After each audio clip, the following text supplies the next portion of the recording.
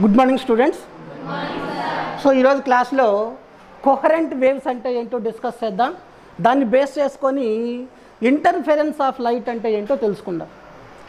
Coherent waves coherent waves form అవ్వాలి అంటే minimum two waves ఉండాలి. మ్యాక్సిమం ఎన్ని వేవ్స్ అయినా ఉండొచ్చు.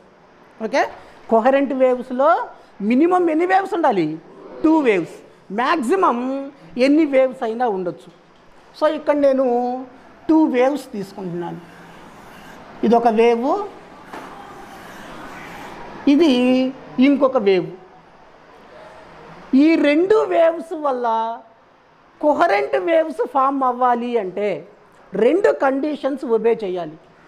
ఈ రెండు వేవ్స్ని కొహరెంట్ వేవ్స్ అనాలి అంటే ఇవి రెండు రెండు కండిషన్స్ని ఒబే చేయాలి. ఫస్ట్ కండిషన్ ఈ టూ వేవ్స్కి సేమ్ ఫ్రీక్వెన్సీ ఉండాలి. These two waves have same frequency same frequency second condition important condition these two waves have zero phase difference or constant phase difference okay zero phase difference. Or constant phase difference. ఈ రెండు కండిషన్స్ని ఎన్ని waves అయితే obey చేస్తాయో ఆ waves అన్నింటినీ coherent waves అని అంటాం. మరి ఏంటి? జీరో ఫేజ్ డిఫరెన్స్ అంటే ఏంటో తెలుసుకోవాలి. సపోజ్ ఒక వేవ్ ఇలా ఉంది. ఫస్ట్ వేవ్ ఇలా ఉంది. సెకండ్ వేవ్ కూడా ఇలానే ఉంటే అంటే ఫస్ట్ వేవ్లో ఉండే క్రెస్ట్ సెకండ్ వేవ్లో ఉండే క్రెస్ట్తోనే మీట్ అయినప్పుడు ఫస్ట్ వేవ్లో ఉండే ట్రఫ్ సెకండ్ వేవ్లో ఉండే ట్రఫ్తోనే మీట్ అయినప్పుడు అప్పుడు రెండు కూడా సేమ్ ఫేజ్లో ఉన్నాయి అంటాం. సేమ్ ఫేజ్ అన్నప్పుడు డిఫరెన్స్ తీసుకున్నాం అనుకో జీరో అయిపోతుంది కదా. దాన్నే మనం జీరో ఫేజ్ డిఫరెన్స్ అంటాం. సో టూ వేవ్స్ ఇలా ఉంటే అంటే ఫస్ట్ వేవ్లో ఉండే క్రెస్ట్ సెకండ్ వేవ్లో ఉండే క్రెస్ట్తోనే మీట్ అయితే ఫస్ట్ వేవ్లో ఉండే ట్రఫ్ సెకండ్ వేవ్లో ఉండే ట్రఫ్తోనే మీట్ అయితే అప్పుడు ఆ రెండు వేవ్స్ సేమ్ ఫేజ్లో ఉన్నాయి అంటాం. లేదా వాటి మధ్య ఫేజ్ డిఫరెన్సు జీరో ఉంటుంది అంటాం. రెండు వేవ్స్ మధ్య ఫేజ్ డిఫరెన్స్ జీరో ఎప్పుడు అవుతుంది అంటే ఆ రెండు సేమ్ టైంలో జనరేట్ అవ్వాలి సేమ్ డిస్ప్లేస్మెంట్ ట్రావెల్ చేయాలి.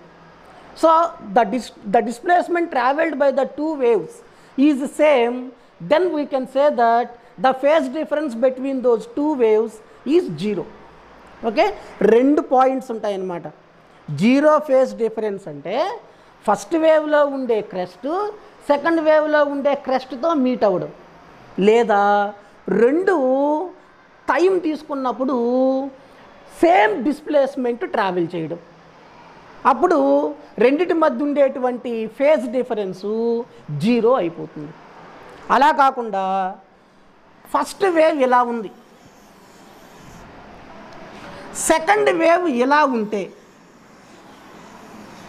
ఇలా ఉంటే ఫస్ట్ వేవ్లో ఉండే క్రెస్ట్ సెకండ్ వేవ్లో ఉండే ట్రఫ్తో మీట్ అయింది ఫస్ట్ వేవ్లో ఉండే ట్రఫ్ సెకండ్ వేవ్లో ఉండే క్రెస్ట్తో మీట్ అయింది సో అటువంటప్పుడు వాటి మధ్య ఫేజ్ డిఫరెన్స్ ఎప్పుడు పై రేడియన్స్ ఉంటుంది లేదా వన్ ఎయిటీ డిగ్రీస్ ఉంటుంది. ఎక్కడ తీసుకున్నా పై రేడియన్సే ఎక్కడ తీసుకున్నా పై రేడియన్సే ఎక్కడ తీసుకున్నా పై రేడియన్సే అలా వేవ్ మొత్తం ఎంత డిస్టెన్స్ ట్రావెల్ చేస్తే అంత డిస్టెన్స్ మీద ఫేజ్ డిఫరెన్స్ ఎంత ఉంది? పై రేడియన్సే ఉంటుంది. ఎప్పుడు పైయే ఉంది కాబట్టి ఫేజ్ డిఫరెన్స్ ఎలా ఉంది? కాన్స్టాంట్గా ఉంటుంది. బట్ అటువంటి దాన్ని మనం కాన్స్టాంట్ ఫేజ్ డిఫరెన్స్ అంటాం. ఓకే సో మనం తీసుకున్నటువంటి టూ వేవ్స్లో ఎలా ఉండాలి? జీరో ఫేజ్ డిఫరెన్స్ అయినా ఉండాలి లేదా కాన్స్టాంట్ ఫేజ్ డిఫరెన్స్ అయినా ఉండాలి. జీరో ఫేజ్ డిఫరెన్స్ ఎప్పుడు ఉంటుంది అంటే ఫస్ట్ వేవ్లో ఉండే క్రెస్ట్ సెకండ్ వేవ్లో ఉండే క్రెస్ట్తోనే మీట్ అవ్వాలి. ఫస్ట్ వేవ్లో ఉండే ట్రఫ్ సెకండ్ వేవ్లో ఉండే ట్రఫ్తోనే మీట్ అవ్వాలి. అప్పుడు వాటి మధ్య ఫేజ్ డిఫరెన్స్ జీరో అంటాం. అలా కాకుండా ఫస్ట్ వేవ్లో ఉండేటువంటి క్రెస్ట్ సెకండ్ వేవ్లో ఉండే ట్రఫ్తో మీట్ అయినప్పుడు లేదా ఫస్ట్ వేవ్లో ఉండే ట్రఫ్ సెకండ్ వేవ్లో ఉండే క్రస్ట్తో మీట్ అయినప్పుడు వాటి మధ్య ఫేజ్ డిఫరెన్స్ ఎప్పుడు పై రేడియన్స్ ఉంటుంది లేదా వన్ ఎయిటీ డిగ్రీస్ ఉంటుంది. అప్పుడు వాటి మధ్య కాన్స్టాంట్ ఫేజ్ డిఫరెన్స్ ఉంటుంది అంటాం. జీరో ఫేజ్ డిఫరెన్స్ ఎప్పుడు వస్తుంది అంటే రెండు వేవ్స్ సేమ్ డిస్టెన్స్ ట్రావెల్ చేసినప్పుడు జీరో ఫేజ్ డిఫరెన్స్ ఉంటుంది. కాన్స్టాంట్ ఫేజ్ డిఫరెన్స్ ఎప్పుడు ఉంటుంది అంటే అవి ట్రావెల్ చేసిన డిస్టెన్సెస్లో కూడా డిఫరెన్సెస్ ఉండాలి.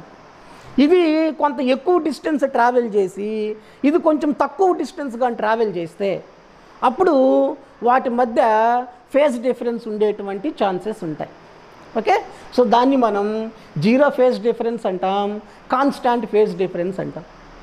మనం తీసుకున్నటువంటి టూ వేవ్స్కి సేమ్ ఫ్రీక్వెన్సీ ఉండి zero or constant phase difference కానీ ఉంటే అటువంటి వేవ్స్ని కోహరెంట్ వేవ్స్ అంటాం.